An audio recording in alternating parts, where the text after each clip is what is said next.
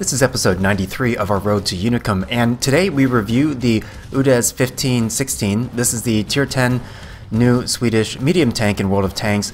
Now, in the prior episode, I reviewed the Tier 8 UDES 14.5, and I was gonna review the tier 9 first, and I can still review that tank after this episode if you guys want to see it. Uh, but I was really excited to capture a few of my early battles in the tier 10 tank that show different usage for this tank. And you can see I'm clearly not paying attention to where I'm going. I just drove into some building. It's funny, in a lighter tank, you don't want to do that because that will actually affect your momentum. And some like the heavier tanks, like the heavies, they'll just roll right through it. But as you can see, as I was discussing in chat at the beginning, you know, in the countdown, there is no arty in this battle, so I have the option of doing something and really kind of trying out the hydraulic suspension on this tank. So when you're driving at speed, the gun depression is right around 6%, so not particularly good. However, if you are driving below 20 kilometers per hour, this is true of all the tier 8 to 10 Swedish mediums, you can increase that max gun depression to minus 13 degrees, which is exceptional. Now, as I talked about in my review of the Tier 8 tank, it's not immediate gun depression, so you kind of need to work a little bit of a ridge carefully, and all you need to do to activate that gun depression is to just aim your turret low while you're slowed, slowed down or stationary.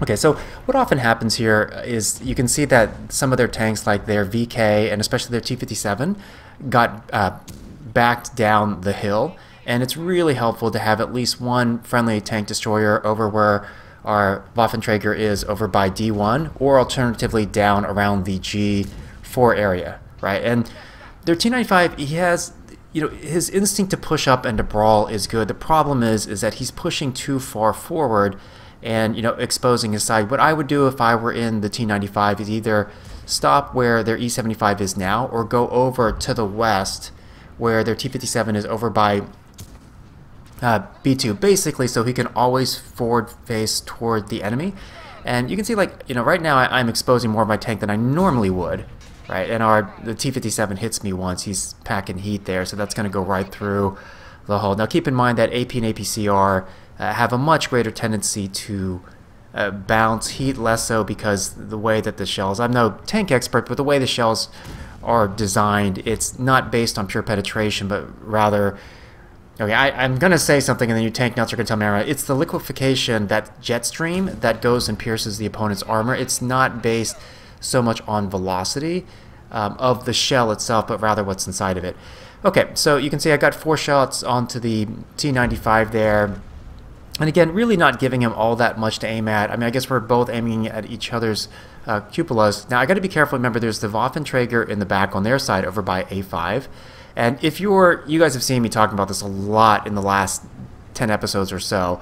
Uh, but what you want to do if you're sniping in the back before the battle begins, knock down as many trees as possible, form as wide and as deep hard cover as you can. And you notice I'm circling around here clockwise so that I can get to a point where I can fire on their T-57, uh, but hopefully not be in an area where I'm going to get fired on by their Waffenträger. And you so we're, we're down three tanks. Now you can't really do anything about it when you're, you know, losing really badly. And I'm chasing this T57 for the simple reason that he's clipping, right? And so, unfortunately, I push. I'm a little too zealous in coming after the T57, and I, I really shouldn't have eaten that damage from the Jagdtiger. You never know how long battle's going to last. And then I make a mistake here. The Jagdtiger was was backing up. Or no, that okay, that was fine. What I just there, the Jagdtiger was backing up. Remember, it's a non-turreted tank a destroyer. Uh, it's going to heavily affect his aim, and I didn't think right there that he'd be able to get a shot. He sort of snapshotted that, and I got to pull in tight so this E57 doesn't have a shot. Now, one thing that I could have done if I knew that I had enough time is reverse side scrape, meaning pull out diagonally to the right, kind of as a clock facing um, backing up toward the southeast. And you guys saw me talk about this. I made this mistake back in the prior battle toward the end in Overlord, where what I should be doing is pulling out an angle so what the opponents see are my tracks first to try to bait them into a shot. And then that shot right there, a little bit unlucky certainly. That should have been, if the shot went anywhere in the kind of middle two thirds of the reticle, that would have gone through the side of the turret.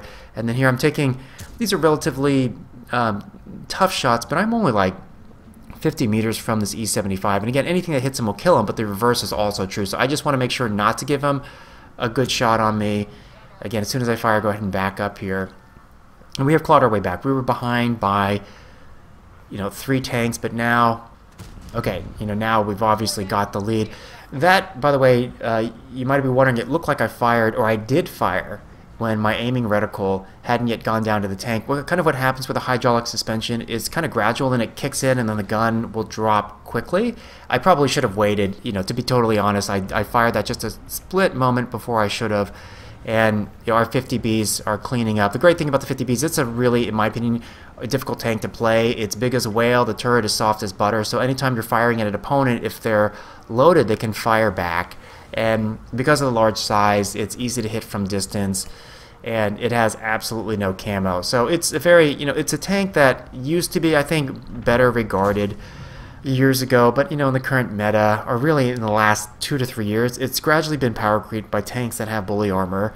And generally speaking, autoloaders are harder to play than single shot tanks uh, for the simple reason that you need to kind of gauge when you can expose yourself, especially in a tank like the 50B, which again is a big soft blimp. And you know, we're not totally out of the woods here. If I were the Bat Chat, I would be moving back to somewhere like, for example, down on the K lane uh, or alternatively trying to flex around the direction where I am because we're I'm one shotable and each of our 50Bs I think is either one or two shotable. Uh, but you know that being said, I don't want to be too passive because I have the better vision and camo and help spot. So the Striv, um, you know, he's he made a mistake here. I mean, I think he just panicked and you know he could have tried firing. Granted, the Striv TD when he is not in his uh, TD mode uh, has pretty poor gun depression, so maybe he wouldn't have been to hit me anyway. Uh, but you know, there's a nice tracking shot, and you know he's pretty much done because he already burned his repair kit. Most players don't carry double repair kits. Some players do. I think the only time it's worth carrying double repair kit is if you are very confident that your tank is unlikely to get set on fire, right? So that can be true, for example, some of the really, really beefy heavy tanks where you can run dual repair kits and then a first aid kit. But for pretty much every tank that has that's reasonably penetratable. And that's true because the keep in mind the Swedish mediums from tier 8 to 10 have paper thin armor. They rely on slope to deflect and bounce shots, not thickness of armor. And as a consequence, for example, if you get blapped by arty or high explosive, you know, there's a pretty good chance you're going to get set on fire. And I think, obviously, you've heard me talk about this before too. I tend to attract a disproportionate uh, amount of fire because people either recognize the otter tag, um, they've got XVM installed, and they see me as a you know deep purple from a W from an account perspective, uh, or they just know who I am, or they're just shooting at me. But anyway, so what you're going to see me do here coming up since I'm getting up here early now, I don't have the speed or comfort to go up to E7. Keep in mind there are three arties, so the name of this game is not to get spotted early. Now, what I would have liked our T62 to do, uh, or our 907, is to go to E7 and spot their tanks as they are crossing the 7-8 lanes. Now, the problem with all of the Swedish mediums is the top speed is pretty limited. This guy has a limited top speed of around 50 to 55 kilometers per hour, and that's pretty meaningfully slow. Right now, the thing is, all these tanks are on the other side of these ridges here. So while we have five of their tanks spotted. I don't have a shot on any of them. As it turns out here, it looks like neither team has actually gone to E7. Or T62A, in my opinion, is misplaying this because he's a tank with a terrific beefy turret and a low pancake profile and better speed. So he could be playing more uh, kind of, he could be pushing up and spotting more than he is. Uh, so I can't really rely on. them. I think at the beginning of the countdown, I'd asked one of our mediums if they could come up here, and I meant specifically the RU mediums, but none of them are doing it. So I'm going to go ahead and move up here, and again, moving up behind the bush to make sure that you know it decreases the likelihood that I'm going to get spotted, and you know I'm rewarded by coming up here, and I spot there 183, right, which is great. And he immediately gets fired upon, and he's going to be kind of heading toward me a little bit, so I'm going to go ahead and blind fire here. But you know, obviously I need to be careful if he is packing the Hesh. It's possible with a high roll that he could one-shot me, or at least just so badly cripple my tank, I'm, for all intents and purposes, going to be one-shottable the rest of the game. And at that point, you, your tactical options are terribly limited. And that's why I always talk about it's the hit points you want to preserve are not the hit points you have when you're one-shottable. It's the hit points you have when you're two-shottable. You know, if you're two-shottable, you can afford one mistake or one lucky penetration or, you know, one unlucky for you RNG shot right? Okay, So our mouse has inexplicably gone middle. So you guys heard me talk about this before. Going middle early in a low vision, no camo, slow heavy tank is a complete waste of time. You don't want to play inside the 2-3 ridge line this early in the game. You can push that way certainly when the enemy's thinned out, but the problem is is that mouse is going to get outspotted by any tank destroyer or medium that is, you know, sitting behind a bush, right? Even if they're not, assuming let's say 400 meters, the mouse is not going to outspot a medium. You know, the, the reverse is true. Now you can see here, part of the advantage of coming here, because I've been unwilling to give up uh, the mid, is the fact that I've spotted their T62 who pushed up. And the thing is, he, he may not have realized that I was here. There's no reason. I had not been spotted at that point, so he couldn't have known that he's moving into a mistake. But what he's put himself to, into is a tremendous crossing field of fire. And what's great here is just a little bit of a ridge here. I can expose very little of my tank while taking a shot. And see, the only shot that he had was just at the very front of my hull. And, you know, that's what you want to do. Just give as thin a slice as possible for them to shoot out while maximizing your ability to hopefully see as much of their hull as you need to be able to take a good shot. And then their T-62, because he's got pretty good speed, just manages to get back behind that little corner on the southern piece of the hill. Okay, now, we obviously can't really rely. The mouse could spot something if it's within three squares of him, you know, or four squares and it fires. Yeah, maybe that's even questionable to be honest. But um, what I would like to do is to figure out where their 183 is and their 62A, but I've got to be careful, obviously, because, you know, as we've discussed before, most 183Bs are packing Hesh. I've actually, I bought it during the black market thing, so I had no intention of ever playing uh, the British tank destroyers in the way they're currently designed because the Hesh is so broken. It's basically, oh, let me basically, it, it functions as basically high penetration, high explosive, where against a lot of tanks you'll get the full penetration value, which is ridiculous. And then even if it doesn't penetrate, it's basically treated as high explosive. And when you have an alpha value with the round of like, I think it's 1650, um, you know, you have that, so that's what 875, and then you subtract the actual armor. So you're still looking at, you know, even against heavy tanks of doing five to 600 damage when you fail to penetrate with the hesh. I mean, it's such a it's such a broken mechanic, and I wish you know I wish the game just didn't have shell types like that. They're, they're just so imbalancing, and they put so much pressure on customers to have to fire premium ammo. And yes, I know you can pay for that with credits, but of course, since those rounds typically cost three to twenty times more expensive than silver ammo, it, it's basically a really subtle. Um, credit sink that will cause players to have to spend real money on the game to boost their in-game income. And so that, you know, for many reasons, the, the current implementation, even though quote unquote gold ammo is now premium ammo, uh, it's it still really disproportionately favors players who are willing to dump money into the game. Okay, so you may be wondering why I'm sitting here, right? Um, and thank goodness our 183B heeded my advice, didn't stay where he was, which is all the way down around uh, C8 or so, because he's a blimp with terrible camo and he's terribly slow and he's got soft armor. If he gets spotted in the open, he's done. He's going to get shellacked by arty and by their tanks with guns. Thankfully, he backs up, and you can see we've got a really deep TD line over in the A lane. And uh, what a lot of people do is abandon the position, right? You know, people would say join the lemming train or back up, run away, whatever.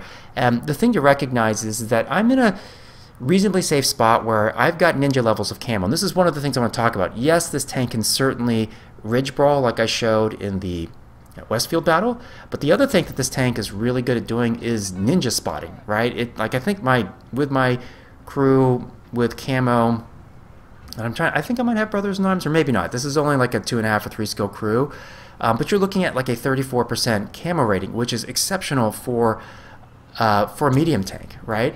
And so since I'm sitting stationary, I get the full value of that camo, and you can see that that's what I mean by I've got heavy protection behind me. I've got three hard-hitting TDs, and plus our RU medium, who I guess is just too beat up to do anything, but anything that I spot is essentially going to get obliterated. And the thing is, like, I'm going to wait and see if there, any of their tanks pushed up. Remember, when their Type 5 Heavy was spotted, he backed down immediately, right? Which, you know, obviously that means he has sixth sense. The other thing that he knows is, you know, one, R3 Arties are going to, you know, poop all over him. But two, he knows he has to assume that those tank destroyers uh, that were firing earlier down the 8-9 lane are providing cover, right? And so if their tanks come, you know, down, you know, if their tanks continue to push north of the F line, E line, if they break that and go north, the only way that they can approach our tanks tank destroyer backline would be to push down in uh, down by the coastline in the zero line. That's what I would do if I were in the Type 50 or the 50M. Uh, because of the way the ridges are positioned, you can get a little bit of arty cover. But the problem is, is they're not advancing, right? So they had brushed us off the eastern side of the map, right? But they're not doing anything with it, right? And if they just get, like a Type 5 has really, you know, a pretty good armor profile overall. So if he just uh, kept moving up the zero line, he would be spotting for their arties, right? And of course, he's a heavy tank, he's not a spotter, but because of the way that our tank destroyers had backed up, he could have moved close enough to be able to do so. And here's part of the value of controlling the mid, right? I can see where their tanks are, right? Obviously, their Guerrilla is bailing, and he's not stopping, even though I'm spotted. Notice he, I can tell he's not stopping to counterfire me, right? Which means that his mindset is to go sit somewhere in the southeastern corner of the map, right? And that's good. So R907 has pushed up, which is good. If he's careful about just exposing his turret, as long as he doesn't get artied, he, he can stay alive, but unfortunately, uh, the T-62 picks him off. The 62A doesn't know that I'm coming. And what I love here is that our, or I guess Arty's complaining they think we're going to lose. They're not, they don't really understand what's going on the map. A lot of players don't. I see Arty players complain and suicide and do stupid things. They just don't understand what's going on. And so obviously, RT92A, you may be thinking, oh, well, you know, he's complaining about, like, if he was watching the map, he should have ran at least five minutes ago to A3, A4 at the least, right, and sat in the bushes and the ridge back there. Um, but now he stayed all the way in A1 where he's essentially trapped. And so the great thing is, remember that 183 that I really encouraged to back up and to let me spot? Now he's coming forward, which is the perfect time because what we want to do is split the attention of the Type 5. Type 5 is focused on trying to get to me, right? And he's stunned because he's been hit by our Arty, and our 183 finishes him off. Okay, we're still down two tanks. Obviously, that's not good. Uh, but, you know, we have cleared out the middle of the map. Or rather, you know, I can push safely to around the six lane area and I should be able to spot their tanks. Now, keep in mind too, the JPE is big and slow, uh, poor gun handling. The 183s have, you know, partial turrets, they can rotate, you know, for an arc in front of them. It's actually fairly limited. I didn't realize how limited it was until I bought this off the black market and paid it, but it's they're, it's terrible for brawling around corners because you, you can't do it. And there's the beauty, really, of you know spotting tanks when they're exposed. When you have these ridiculous, uh, you know, tier 10 British tank destroyers uh, with HESH. I mean, just boom, one shot gone. And they're already wow. Like their 261 just panicked. They had the lead. There was no reason for one of their arties to come up here. Just read the game flow, right? Now, I would not say that they are in a good position, but obviously, since our arty was spotted, the one who refused to move from A1, no map awareness, and died. And then what's really nice, I'm going to back up here just, just to try to put those bushes between me and the Guerrilla, and I track him. Um, I do get spotted, but you know, it looks like he burned his repair kit, which is good. You know, if he gets hit once or twice now, uh, what I need to wait is long enough so that I can be reasonably confident that I have been dropped um, from. So you can hear the the arty fire just fired behind me. Okay, JP's up on the hill above me. Um, I'm spotted now, but again, our FV 4005 puts him down. And we're even here in terms of remaining numbers of tanks, but I am not only, I'm at full hit points, but I also have, you know, pretty good ninja camo mechanics, right? And so this is good. Going to go ahead and put another shot in that 183. Of course, I'm going to get spotted from doing so. And you can see their arties are aiming mid. Obviously, I represent the biggest threat to them right now. Our 183 really has kind of the choice. He can either push directly west along the EF lane, R183. Uh, the other thing that he decides to do is just push down the zero lane.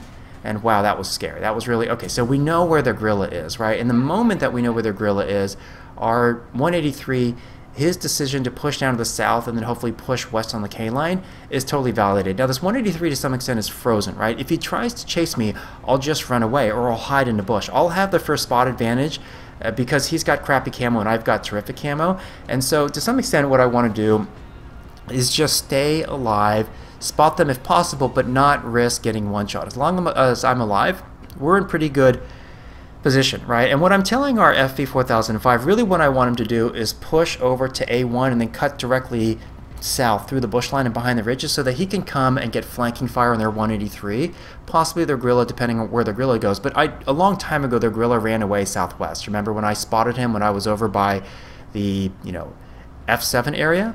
And so, you know, a player doing that usually is signaling that they're going to be deep camping, right? So, you know, really, and the thing about their Guerrilla too is, you know, they're Okay, there's our. Oh, by the way, our already did a really good thing. Our our uh, Bat Chat 155.58. He's gone so that he is now perpendicular, so he can fire directly west and have shots to hit the 183. And again, what you're going to be really careful, just just spot hits the 183. So I figured he'd backed up, and one of my teammates is going to criticize me for what I'm about to do here, which is to just to take a snapshot. And you could argue uh, that that was you know unnecessary.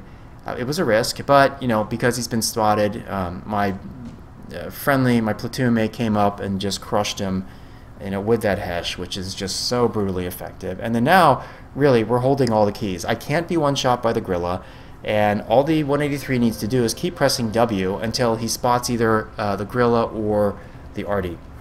But remember, the reason why we were able to come back from this battle, despite losing the 1-2 lane, was the fact that we never lost mid-control. I didn't over-retreat, right? And there's a huge tendency for players to do that instead of recognizing when there's reasonable a reasonable degree of safety and certainly high value. I've, I've really um, helped uh, several of their tanks get wrecked when they tried to push up. Their 183 and especially their T62A just got obliterated when they tried to push north along, you know, the 8 lane and then eventually I was able to push over to the western ridge and primarily work my gun a little bit, just primarily be there to spot, right? And so what's interesting about, I, I won't I won't tell you that the UDES uh, 1516 is overpowered. It's not. It's not fast enough to be overpowered and it doesn't have uh, the, the kind of armor and gun depression that allows it to be totally flexible, but you can see you can play it with these two different modes. I think it's a terrifically balanced tank, and it brings a lot of uh, flavor and differentiation to the game, and so for that reason, you know, I think Wargaming did a good job